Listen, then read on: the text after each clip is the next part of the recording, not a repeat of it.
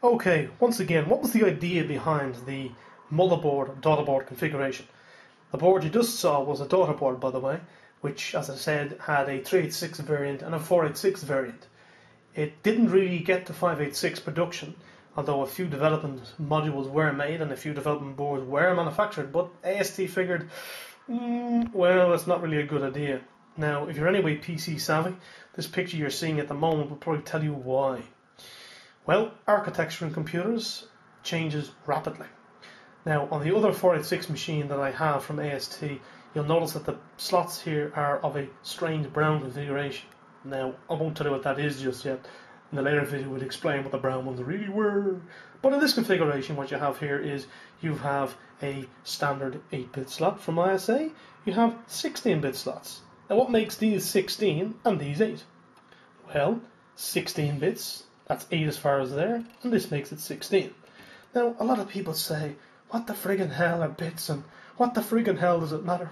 Well, your new computer that you probably have and you're probably viewing this video is probably of a 64-bit configuration or 32-bit configuration, depending on how much money you have in the bank.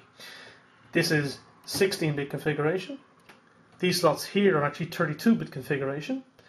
The difference is 16-bit equals 16 lanes of information. 32 equals 32-bit lanes of information. So, in layman's terms, with a 16, you can send 16 bits of information either direction, or with 32, you can send it either direction.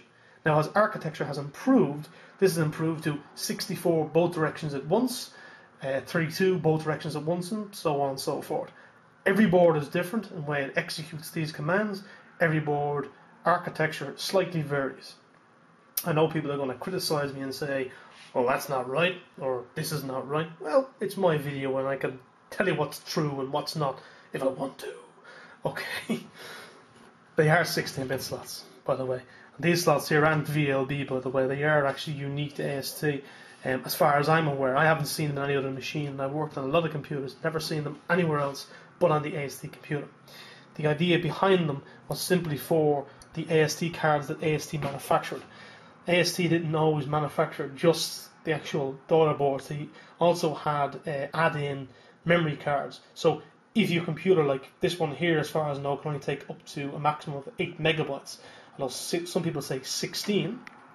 Uh, either way, if you wanted to get it to 32, you had to buy an extra add-in card which stuck in here and here.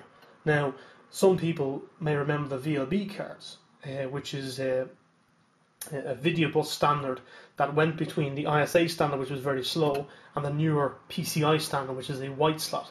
Um, I'll show you that in this computer here in a couple of minutes.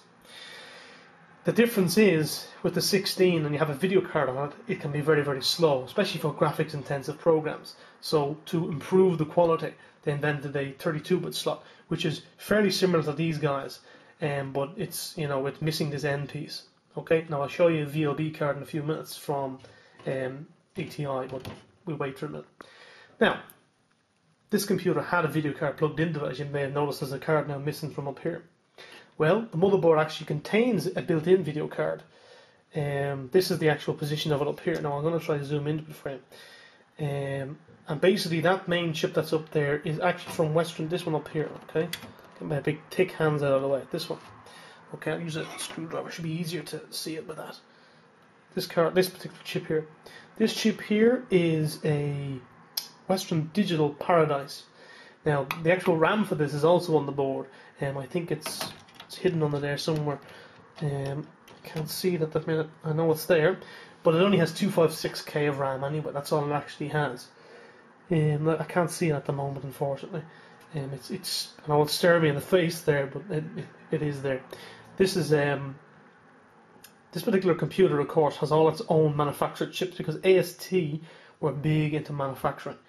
And um, so, you know, you can see most of the chips are AST branded. And they're a bit out of focus there. As you can see, most of the chips are, as I said, AST branded. This particular set of chips here, by the way, these four white chips here are the BIOS. So four chips here actually ran the BIOS of this computer. Um, when you put in the new daughter board, which sat in this slot and sat in this slot at the same time, you had to upgrade the BIOS because the new BIOS would then be able to understand the 486 chip, whereas the old BIOS wouldn't be able to. Just again, this is the BIOS chips here, these four fellas here. Okay. Uh, AST computer, you can look it up on Wikipedia if you like. It's actually somebody said it once it meant American Systems Technology, but it actually is the three uh, surnames of the three people who actually um, established the company. That's the word I'm looking for. Okay, we're going to move on a little bit further here. This big box here, by the way, this massive big thing here, is actually a power supply for the computer. This power supply is only a 110 watt or something like that. Nothing, nothing major coming out of that, you know. Um, actually, this was a two, 220. Actually, this one is.